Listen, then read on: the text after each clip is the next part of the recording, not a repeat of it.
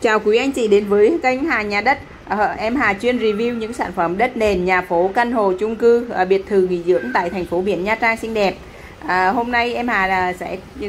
giới thiệu tới quý anh chị một cái mặt bằng tại uh, mặt tiền đường Nguyễn Đài Lộ Nguyễn Tất Thành Một cái cung đường đẹp nhất uh, khi di chuyển từ thành phố Nha Trang tới sân bay Cam Ranh.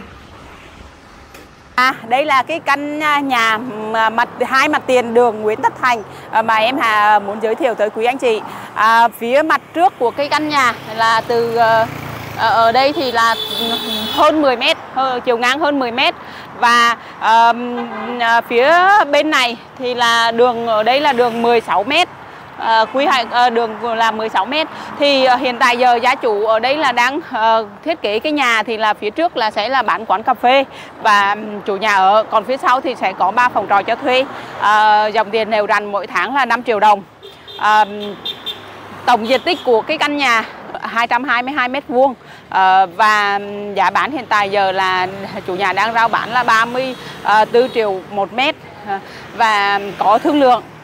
à, quý anh chị nếu muốn đang quan tâm cái vị trí này thì có thể là khảo giá những khu vực xung quanh thì gần đối diện với uh, vị trí em Hà đang đứng ở đây thì chủ có những chủ nhà đang rao bán với giá là 36 và 37 triệu một mét mà trong khi đó là uh, chỉ là mặt tiền và không có hai mặt tiền như cái căn em Hà đang giới thiệu đây. Thì đây là một cái căn mà có uh, nhà mà có cái uh, giá tương đối tốt tại, uh, ở thời điểm này à, phía sau của à, của cái căn nhà sẽ là một cái ờ, dòng suối. Ờ, thì à, dòng suối này thì thực ra là mùa hè thì không có nước và mùa đông thì nước à, mùa mùa mưa thì nước ừ, cũng ít. À, và à,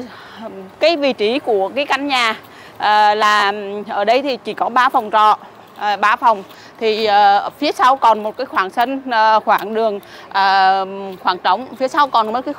và phía sau còn một cái khoảng trống thì tầm khoảng ờ, 100 mét vuông thì hiện tại giờ là uh, đang sử dụng để là uh, uh, trồng rau nuôi gà. Và cái uh,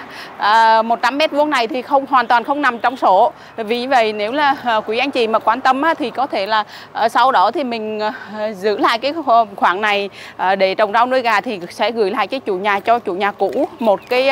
uh, ít uh, tiền công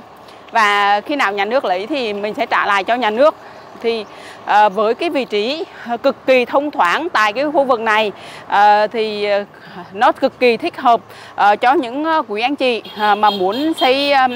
à, làm một cái mặt bằng lớn à, để kinh doanh cũng như là xây phòng trọ. Thuê thì rất là đông. À, và em Hà vừa mới giới thiệu xong tới quý anh chị à, một cái mặt bằng to đùng tại vì À, đường Đài Lộ Nguyễn Tất Thành. Nếu anh chị có nhu cầu hãy liên hệ em Hà theo số điện thoại là 0986 590 425 em Hà gửi thêm thông